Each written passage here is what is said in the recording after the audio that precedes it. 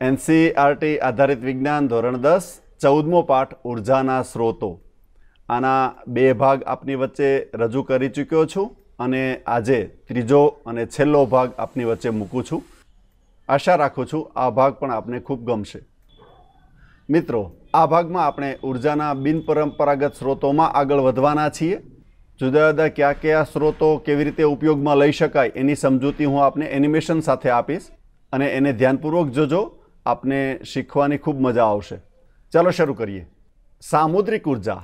સમુદ્રમાંથી આપણે જુદા જુદા ત્રણ પ્રકારે ઊર્જા મેળવી શકીએ છીએ. એમાંનો એક પ્રકાર છે ભરતી અને ઓટમાંથી ઊર્જા. બીજો પ્રકાર છે તરંગમાંથી ઊર્જા, એટલે કે મોજામાંથી ઊર્જા. અને ત્રીજો પ્રકાર છે સમુદ્રની તાપીય ઊર્જા. તો દોસ્તો, આ ત્રણે ત્રણ ઉર્જાના નામ કદાચ આપે સાંભળ્યા પણ હશે. પરંતુ આજે હું તમને એને એનિમેશન સાથે વ્યવસ્થિત સમજાવવાનો છું કે એ ઊર્જા કેવી કેવી રીતે પ્રાપ્ત થઈ શકે.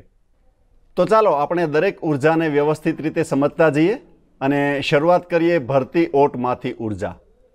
તો જે લોકોને ભરતી અને ઓટનો સ્પષ્ટ ખ્યાલ નથી એને માટે હું જણાવી દઉં કે જ્યારે સમુદ્રનું પાણી કિનારા તરફ વધુ પડતું ધસી આવે, એને આપણે કહીએ છીએ ભરતી.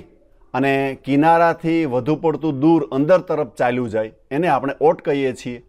અને આપ સૌ હવે તો એનાથી પૂરેપૂરા માહિતગાર જ હશો કે સૂર્ય અને ચંદ્રના ગુરુત્વાકર્ષણને કારણે આ ઘટનાઓ બનતી હોય છે. જ્યારે ચંદ્ર છે એ સમુદ્રની ઉપરની દિશા તરફ આવે, ત્યારે ગુરુત્વાકર્ષણને કારણે પાણી ઊંચકાય અને ઊંચકાવાથી એ પાણી છે એ કિનારાથી અંદર તરફ ચાલ્યું જાય. અને એનાથી વિરુદ્ધ ઘટના બને ત્યારે એ પાણી નીચે તરફ પાછું બેસી જાય અને એ, એને કારણે એ પાણી કિનારા તરફ ધસી આવે. તો આ રીતે ભરતી અને ઓટ થાય.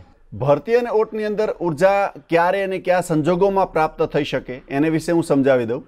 તો સમુદ્રના કિનારામાં કેટલીક જગ્યાએ જમીનની અંદર ઊંડે તરફ પાણી ધસી આવતું હોય છે. એને કહીએ છીએ આપણે ખાડી.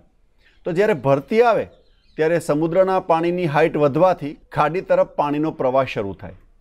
અને પછી જ્યારે ઓટ આવે, ત્યારે એનાથી ઉલટી ઘટના બને. તો ચાલો આપણે એનિમેશન સાથે જોઈએ. આપની જમણી તરફ છે એ સમુદ્ર છે અને આપની ડાબી તરફ છે એ ખાડી છે. તો ભરતી આવી છે એટલે સમુદ્રનું પાણી ઊંચકાયું છે. એની સપાટી ઊંચી આવી છે અને ખાડીમાં હાલમાં પાણીની સપાટી નીચે છે. એટલે પાણીનો પ્રવાહ સમુદ્ર તરફથી ખાડી તરફ શરૂ થશે. એ બંનેને જુદી પાડતી જગ્યાએ એક ડેમ જેવી રચના કરવામાં આવે. ડેમની નીચેથી ચેનલ જેવી રચના કરવામાં આવે અને એમાં ગોઠવવામાં આવે ટર્બાઇન. ટર્બાઇન સાથે જોડવામાં આવે જનરેટર. એટલે ભરતી સમયે સમુદ્રમાંથી પાણીનો પ્રવાહ ખાડી તરફ જાય અને અહીંયા બતાવ્યું છે એ પ્રમાણે ટર્બાઇન ફરશે. ટર્બાઇન સાથે જોડેલું જનરેટર ફરશે અને જનરેટરના ફરવાથી ગતિશક્તિનું યાંત્રિક શક્તિમાં અને યાંત્રિક શક્તિનું વિદ્યુત શક્તિમાં રૂપાંતર થશે. તો આ ઘટના બને છે ભરતી સમયે. પછી એક સમય એવો આવશે કે બંને લેવલમાં આવી જશે. અને પછી ઊંધી પ્રક્રિયા શરૂ થશે. હવે એ પ્રક્રિયા કેવી હશે એને આપણે જોઈ લઈએ. તો એ પ્રક્રિયા છે આવી ઓટ જેવી સ્થિતિ. ત્યારે શું થશે? સમુદ્રની સપાટી નીચી ગઈ હશે. પરંતુ ખાડીમાં પાણીની સપાટી ઊંચી હશે. અને સ્વાભાવિક રીતે ગુરુત્વાકર્ષણના સિદ્ધાંત મુજબ ખાડીમાંથી પાણીનો પ્રવાહ સમુદ્ર તરફ થશે. આ સમયે પેલું ટર્બાઇન છે ફરીથી ફરશે અને એની સાથે જોડેલું જનરેટર ફરશે અને ફરીથી ગતિશક્તિનું યાંત્રિક શક્તિમાં અને યાંત્રિક શક્તિનું વિદ્યુત શક્તિમાં રૂપાંતર થશે. આવી રીતે ભરતી અને ઓટમાંથી ઊર્જા પ્રાપ્ત કરી શકાય. તો આ થયું એનિમેશન અને પૃથ્વી ઉપર કેટલાક સ્થળોએ આ રીતે ઊર્જા મેળવવામાં પણ આવે છે. હા, ભારતમાં હજી આની શરૂઆત થઈ નથી. તો આ થયો સમુદ્રમાંથી ઊર્જા મેળવવાનો એક પ્રકાર. આગળ વધીએ અને હવે જોઈએ તરંગ ઊર્જા અથવા તો સાદી ભાષામાં સમુદ્રના મોજામાંથી ઊર્જા.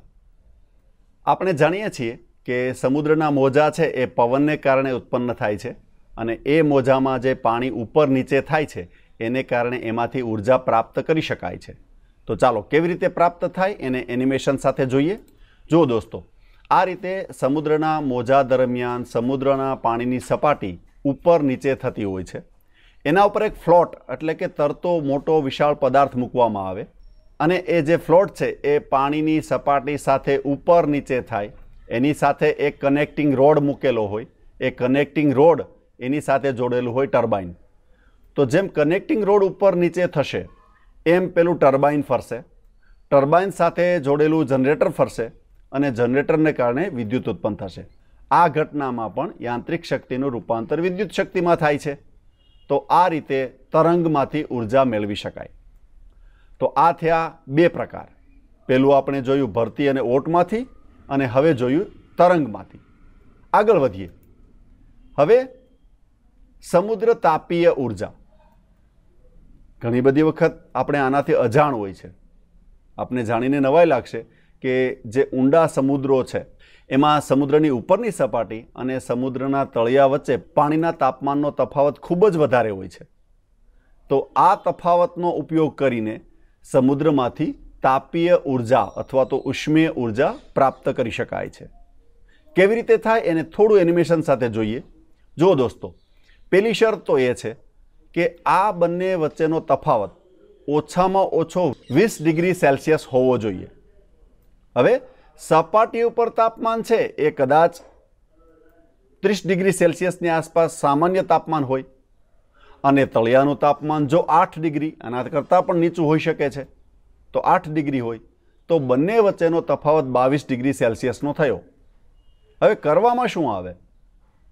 તો એમોનિયા કે ઈથર જેવો પદાર્થ. પાછો પ્રશ્ન થશે કે ભાઈ આવો જ શા માટે લેવાનો? તો એટલા માટે લેવાનો? કારણ કે એનો કદ પ્રસરણાંક સૌથી વધારે હોય છે. રાઈટ આમાં બતાવ્યા પ્રમાણે સમુદ્રના પાણીમાં બે ટેન્ક જેવી રચના તૈયાર કરવામાં આવે. તળિયેથી જે ખૂબ નીચા તાપમાનવાળું પાણી છે, ઉદાહરણ તરીકે અહીંયા આપણે આઠ ડિગ્રી સેલ્સિયસવાળું પાણી છે, એને તળિયેથી પમ્પિંગ કરી અને ઉપરની એક ટાંકીમાં લાવવામાં આવે. એ ટાંકીની અંદર બીજી ટાંકી છે અને એ ટેન્ક વન તરીકે અહીં દર્શાવી છે, જોઈ લ્યો. એ ટેન્ક વનની અંદર ભરવામાં આવે ઈથર કે એમોનિયા જેવું અત્યંત ઊંચા કદ પ્રસરણાંક ધરાવતું પ્રવાહી. બીજી એક ટાંકી છે બાજુમાં, જેમાં અહીંયા ટેન્ક ટુ તરીકે લખી છે. એ સામાન્ય પાણી વચ્ચે છે, એટલે કે એનું તાપમાન ત્યાંનું જે સપાટી પરનું પાણી છે એટલું હશે, એટલે કે ત્રીસ ડિગ્રી સેલ્સિયસ હશે. પેલું જે આઠ ડિગ્રીની ટેન્ક વચ્ચેનું જે પ્રવાહી છે, એ અત્યંત સંકોચન પામશે. જ્યારે અહીંયા ત્રીસ ડિગ્રી તાપમાન ધરાવતું જે પ્રવાહી છે, એનું વિસ્તરણ થશે. એટલે એ પ્રવાહીનો પ્રવાહ ઉત્પન્ન થશે. અને એ પ્રવાહનો ઉપયોગ કરીને અહીંયા બતાવ્યું છે, એમ ટર્બાઇન ચલાવી શકાશે. અને એ ટર્બાઇન ચલાવતા ફરીથી યાંત્રિક શક્તિનું વિદ્યુત શક્તિમાં રૂપાંતર થશે. આવી રીતે સમુદ્રમાંથી જુદા જુદા પ્રકારે વિદ્યુત ઉત્પન્ન થઈ શકે છે. તો બિનપરંપરાગત સ્ત્રોતોમાં આ પણ એક મહત્વનો સ્ત્રોત છે, જો કે જે દેશોને સમુદ્ર કિનારાઓ લાગુ પડે છે. દાખલા તરીકે ભારત એ દેશો આ ઉર્જાનો ઉપયોગ કરી અને પોતાની ઉર્જાની જરૂરિયાતો સંતોષી શકે છે. આગળ વધીએ. હવે આપણે સમજીએ સમુદ્ર ઉર્જાના ફાયદાઓ. દોસ્તો, પહેલો ફાયદો છે, એ પ્રદૂષણ મુક્ત છે. બીજું, એ ઊર્જા પુનઃપ્રાપ્ય છે. કારણ કે સમુદ્રની અંદર મોજાઓ, સમુદ્રની અંદર ભરતી ઓટ, સમુદ્રની અંદર તાપમાનનો તફાવત એ કાયમ માટે છે અને છેલ્લું. જે દરિયા કિનારાના દેશો કે પ્રદેશો છે, એને માટે આશીર્વાદરૂપ છે. તો આ છે સમુદ્રની ઉર્જાના ફાયદાઓ. આગળ વધીએ અને હવે સમજીએ સમુદ્રની ઉર્જાના ગેરફાયદા. કારણ કે એ પણ આપણે જાણી લેવા જોઈએ. હવે મોટામાં મોટો ગેરફાયદો એ છે કે આની શોધ થયા એને ઘણા વર્ષો થયા. પરંતુ હજી બધી જગ્યાએ વ્યવહારો બની નથી. બીજું, એના ઇન્ફ્રાસ્ટ્રક્ચરનું સ્થાપન અને સંચાલન અઘરું અને ખર્ચાળ છે. પછીનું, એમાં જે મશીનરી વપરાય છે, એનો નિભાવ ખર્ચ પ્રમાણમાં વધારે થાય છે. અને છેલ્લું, પ્રાપ્ત થતી ઉર્જાને સમુદ્રના કિનારે પહોંચાડવી પ્રમાણમાં અઘરી છે, અથવા તો એમ કહી શકીએ કે સરળ નથી. તો આ છે સમુદ્રની ઉર્જાના ગેરફાયદાઓ. એટલે આપણે ફાયદાઓ અને ગેરફાયદાઓ વચ્ચેનું કેલ્ક્યુલેશન કરી અને પછી એને એપ્લાય કરવી પડે. આગળ વધીએ આપણે. અને હવે સમજીએ ભૂતાપીય ઊર્જા. દોસ્તો, આપણે નાના હતા ત્યારે ભૂ એટલે પાણી સમજતા હતા. પરંતુ અહીંયા ભૂ એટલે પાણીની જમીન. આપણા ભારતમાં અને ગુજરાતમાં ઘણા બધા સ્થળોએ ગરમ પાણીના ઝરા છે. અને ભૂગર્ભમાં પ્રચંડ ગરમી છે. તો આપણે એ ગરમીનો ઉપયોગ કરી અને ઊર્જા મેળવી શકીએ. અને એ ઊર્જા કેવા સ્વરૂપે મળી શકે એનું એનિમેશન આપની વચ્ચે શેર કરું છું. ચાલો જોઈએ. જો દોસ્તો, અહીંયા ભૂગર્ભમાં પ્રચંડ ગરમી છે. પ્રશ્ન થાય કે સર, એ કેવી રીતે શોધવા જવું? તો હવે તો ટેકનોલોજી એટલી બધી આગળ વધી છે જે દૂર સંવેદી ઉપગ્રહો છે. એના મદદથી ઇમેજ મેળવી અને ઇમેજની મદદથી કઈ જગ્યાએ ભૂગર્ભમાં પ્રચંડ ગરમી છે અથવા તો ગરમીના કેન્દ્રો ઓછી ઊંડાઈએ છે. એ શોધી કાઢી અને ત્યાં જે રચના કરવાની છે કંઈક આવી છે. અહીંયા જોઈ શકતા હશો.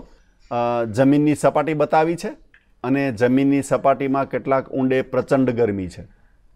તો જમીનની સપાટી ઉપર એક જગ્યાએ આપ જોઈ શકતા હશો. એક વ્યવસ્થા કરીને ત્યાં એક ઓલરેડી ટર્બાઇન ગોઠવી દીધું છે અને એ ટર્બાઇન સાથે જનરેટર વગેરે તૈયાર છે. હવે કરવામાં શું આવે? તો એક બોર કરીને એની અંદર એક પાઇપ ફિટ કરવામાં આવે. અને એ પાઇપની અંદર એક વાલ્વ જેવી રચના રાખવામાં આવે. એનાથી બિલકુલ નજીક બીજો એક પાઇપ ઊભો કરવામાં આવે. હવે, જે પાઇપમાં વાલ્વ જેવી રચના છે, એની અંદર પાણી અંદર જવા દેવામાં આવે. એ પાણી સમુદ્રનું પણ હોઈ શકે. એ પાણી જ્યારે અંદર જાય છે, તો અંદર જતા પ્રચંડ ગરમીને કારણે એની વરાળ થાય. એ વરાળ પાછી એટલા માટે નથી આવી શકતી, કારણ કે ત્યાં વાલ્વ જેવી રચના છે. એટલે એને ફરજિયાત બાજુમાં બીજા ગોઠવેલા પાઇપમાં બહાર નીકળવું પડે. તો ત્યાં એ એટલા બધા પ્રેશરથી બહાર નીકળશે કે એ જો આ રીતે પાણી અંદર જાય છે, વરાળ થઈને બહાર આવે છે અને બહાર જે વરાળ નીકળે છે, ફૂલ પ્રેશરથી નીકળે છે અને ત્યાં ગોઠવેલા ટર્બાઇનને ફેરવે છે અને એ ટર્બાઇન ફરવાથી એની સાથે જોડેલું જનરેટર ફરે છે અને એને કારણે વીજળી ઉત્પન્ન થાય છે. તો આવી રીતે યાંત્રિક શક્તિનું રૂપાંતર વિદ્યુત શક્તિમાં થાય છે. આગળ વધીએ. હવે જોઈએ ન્યુક્લિયર ઊર્જા. ન્યુક્લિયર ઊર્જા વિશે આપણે વધારે તો છઠ્ઠી ઓગસ્ટ ઓગણીસો પિસ્તાલીસમાં જાણ્યું કે જ્યારે અમેરિકાએ જાપાનના હિરોસીમા શહેર ઉપર અણુબોમ્બ ફેંકી અને મોટી તારાજી સર્જી હતી અને પછી ત્રણ જ દિવસ બાદ ફરીથી નાગાસાકી શહેર ઉપર પણ એવી તારાજી સર્જેલી. તો ચાલો આપણે ન્યુક્લિયર ઊર્જા વિશે વધારે વિસ્તૃત માહિતી મેળવીએ. દોસ્તો, ન્યુક્લિયર ઊર્જા બે પ્રકારે મળી શકે. એમાંનો એક પ્રકાર છે ન્યુક્લિયર વિખંડન. ઇંગ્લિશમાં એને કહીશું ન્યુક્લિયર ફિઝન, જે યુરેનિયમ, પ્લુટોનિયમ, થોરિયમ એવા પદાર્થના પરમાણુને તોડીને એમાંથી ઊર્જા મેળવી શકાય. અને એ ઊર્જા સર આલ્બર્ટ આઇન્સ્ટાઇનના પ્રખ્યાત સૂત્ર ઈ બરાબર delta M C square delta M એટલે કે ઘટેલું દ્રવ્યમાન અને સી એટલે કે પ્રકાશનો શૂન્યાવકાશમાં વેગ. તો એ સૂત્ર દ્વારા કેટલી ઊર્જા પ્રાપ્ત થઈ શકે છે એ સમજી શકાય છે. તો એ થયું ન્યુક્લિયર વિખંડન એટલે કે ન્યુક્લિયર ફિઝન દ્વારા ઊર્જા. દોસ્તો, આ ઊર્જા પ્રચંડ હોય છે. પ્રચંડ એટલે એટલી બધી વધારે હોય છે કે કોલસાના એક પરમાણુમાંથી જે ઊર્જા મળે એના કરતાં યુરેનિયમના એક પરમાણુમાંથી કોલસાના દસ મિલિયન એટલે કે એક કરોડ પરમાણુમાંથી જે ઊર્જા મળે, એ માત્ર યુરેનિયમના એક પરમાણુમાંથી પ્રાપ્ત થાય છે. એટલે આ ઊર્જા પ્રચંડ છે. પરંતુ એની સમસ્યા એ છે કે જો એનો નેગેટિવ ઉપયોગ કરવામાં આવે, તો એ બહુ વિનાશકારી છે. અને માત્ર નેગેટિવ જ નહીં, જો બેદરકારી રાખવામાં આવે, તો પણ પ્રચંડ વિસ્ફોટ થાય અને એ આખા વિશ્વને ચિંતામાં મૂકી દે. હિરોસીમામાં તો ઈરાદાપૂર્વક બોમ્બ બ્લાસ્ટ કરીને આ ઉર્જાની આપણે શક્તિ જોઈ. પરંતુ યુએસએસઆરના ચેર્નોબિલમાં બેદરકારીના કારણે જે વિસ્ફોટ થયો, એ પર્યાવરણ અને વિશ્વ માટે ખૂબ જ હાનિકારક હતો. તો આ થઈ ન્યુક્લિયર વિખંડન ઊર્જા. બીજું, ન્યુક્લિયર ઊર્જા બીજી પ્રકારે પણ મેળવી શકાય અને એ છે ન્યુક્લિયર સંલયન ઊર્જા. એટલે કે પેલી ઊર્જા અણુને તોડીને મેળવવામાં આવે છે અને બીજી ઊર્જા અણુને જોડીને મેળવવામાં આવે છે. જોડીને કેવી રીતે મેળવાય? તો હાઇડ્રોજન, આપ હાઇડ્રોજન વિશે કદાચ આપ જાણતા હશો, છતાં હું આપને જણાવું કે હાઇડ્રોજનના પરમાણુ ત્રણ પ્રકારના હોય. બધામાં પ્રોટોન તો એક જ હોય, પરંતુ એક એવા કે જેમાં ન્યુટ્રોન નથી, એટલે કે ઝીરો છે. બીજા એવા જેમાં ન્યુટ્રોન એક છે. અને ત્રીજા એવા કે જેમાં ન્યુટ્રોન બે છે. તો જે એક પ્રોટોન અને એક ન્યુટ્રોનવાળા હાઇડ્રોજન પરમાણુ છે, જેને ડ્યુટેરિયમ પણ કહે છે. ડ્યુટેરિયમના બે પરમાણુઓ વચ્ચે પ્રક્રિયા થઈ અને હિલિયમનો પરમાણુ બને. પરંતુ ત્યારે જે દ્રવ્યમાન ઘટે છે, એ દ્રવ્યમાન ઊર્જા આપવામાં વપરાય છે અને આ ઊર્જા એક માઇક્રો સેકન્ડમાં એક કરોડ ડિગ્રી સેલ્સિયસ જેટલી ઊંચી થઈ જતી હોય છે. એટલે ન્યુક્લિયર ઊર્જા પ્રચંડ છે પરંતુ એ જો નિયંત્રિત રીતે મેળવી શકાય તો જ એ ફાયદાકારક છે. અને આ ઊર્જા છે એ પર્યાવરણ માટે ખરેખર જોખમી છે. કારણ કે આપણે જ્યારે ઉર્જાના સ્ત્રોતોની વાત કરતા હોઈએ, ત્યારે પર્યાવરણને પણ ધ્યાનમાં રાખવાનું રહ્યું. તો આ થયા ઉર્જાના જુદા જુદા સ્ત્રોતો અને એનો ઉપયોગ કેવી રીતે કરવો એ. ચાલો, હવે આપણે સમય થયો છે મૂલ્યાંકનનો. પહેલો પ્રશ્ન સામુદ્રિક ઊર્જા કઈ કઈ રીતે મેળવી શકાય છે? બીજો પ્રશ્ન. સમુદ્ર તાપીય ઊર્જા મેળવવા તાપમાનનો ન્યૂનતમ તફાવત કેટલો હોવો જોઈએ? પછીનો પ્રશ્ન છે, ન્યુક્લિયર વિખંડન ઊર્જા મેળવવા માટે વપરાતો પદાર્થ. એના નામ આપો. એના પછીનો પ્રશ્ન છે, ન્યુક્લિયર સંલયન ઊર્જા મેળવવા માટે કયા પદાર્થ વપરાય છે? પછીનો પ્રશ્ન છે યુરેનિયમના એક પરમાણુમાંથી મળતી ઊર્જા, કોલસાના એક પરમાણુમાંથી મળતી ઊર્જા કરતાં કેટલા ગણી છે? તો દોસ્તો, આ સાથે આપણો આજનો ભાગ પૂરો થાય છે. આપ સૌને ખૂબ ખૂબ શુભેચ્છા. ફરી મળીશું. આપ સૌને નમસ્કાર.